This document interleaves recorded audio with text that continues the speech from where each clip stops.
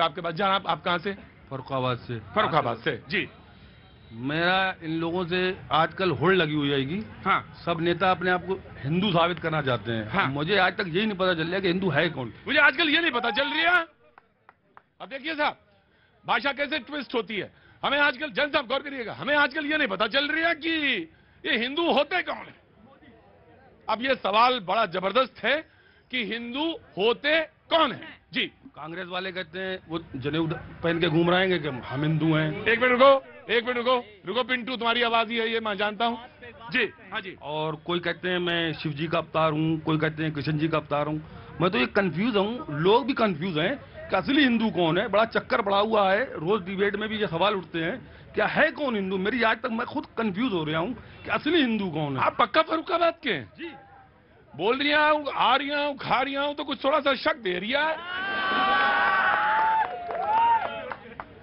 इतनी देर में तो मैं पकड़ लेता हूँ आदमी को। बाबू जी, आप बढ़िया, अब जगह नहीं होगी। तो थोड़ा सा आपको खड़े रहने पड़ा आपकी जगह पे कोई क्योंकि आपने चार बार बोल दिया, आर्या, खारिया नहीं नहीं, आप वर्ग का बात कही है। क्योंकि ये जो आर्या, खारिया, पीरिया, ये कोई थोड़ा सा मुझे संदेह देता है, लेकिन कोई भी बात नहीं, कोई बात नहीं। अच्छा कुछ रह गया? हाँ जी। जी। पूरे हिंदुस्तान में कोई भी मुख्यमंत्री है, वो सब हिंदू ही हैं, एक आध अल्प अल्पसंख्यक होंगे तो फिर भी हिंदुस्तान में हिंदू खतरे में कैसे हो सकता है? तो किसने कही? है? किसने कही? मम्मी ने कही और मम्मी वाले हो ना तुम? हाँ हाँ। सर हिंदू खतरे में नहीं है। सर किसने कही ये बात? सर खतरे में नहीं? बोला?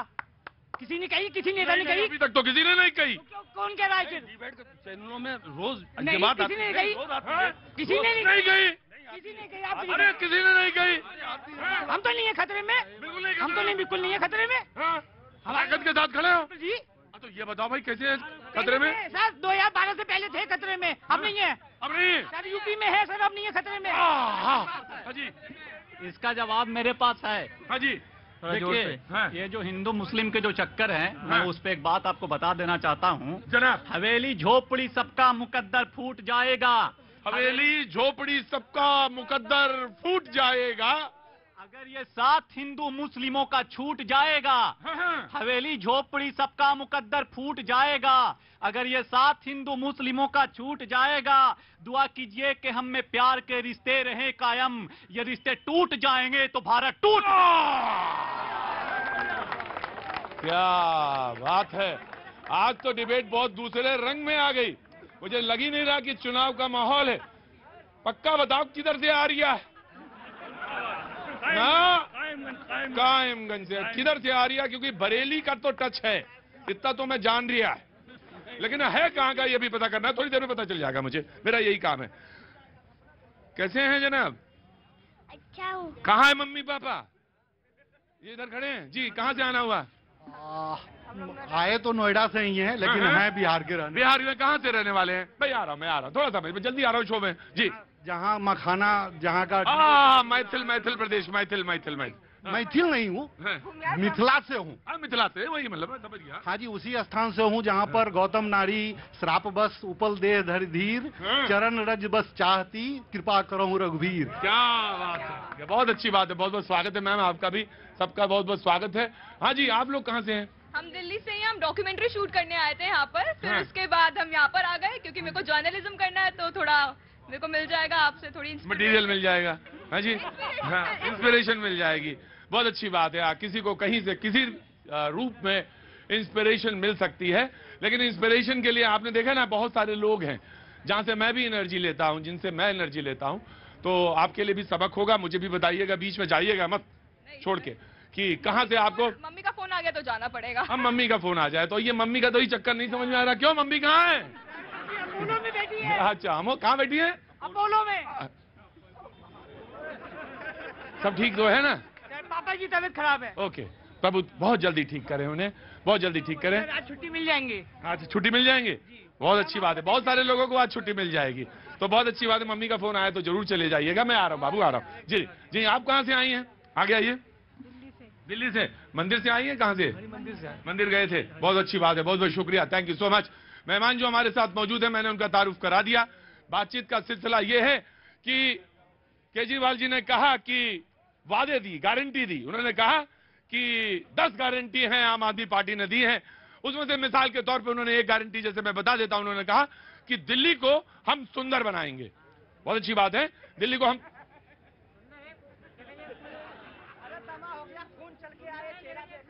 दिल्ली को हम सुंदर बनाएँगे, ये बात उन्होंने कही। संबित पात्रा जी ने कहा जो वारंट पर हैं उन्हें आप कह, वो लोग कैसे गारंटी ले रहे हैं? जो वारंट पे हैं वो कैसे गारंटी ले रहे हैं? डिबेट का शुरुआत कर रहा हूँ मैंने डिबेट पे कहा कि आज एमसीडी के चुनाव से लेकर गुजरात तक गुजरात के चुनाव से लेकर हिमाचल तक खुला हुआ है क्योंकि चुनाव का माहौल है। सबसे पहले आम आदमी पार्टी आज वही आज के चुनाव का आगाज़ करेंगे। जी मैं चुनाव का मतलब डिबेट का।